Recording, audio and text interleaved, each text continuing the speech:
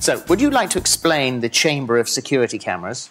Um, I'm a bit obsessed with gadgets and technology and things, so I, I, did end up installing quite a lot of cameras and things that I can can sort of access from anywhere in the world to sort of keep an eye on things at home. Mm. Not literally inside the house. I'm not sort of weirdo, but um, just, just so I can keep an eye on the outside and that sort of thing. So I, I like all of that sort of thing.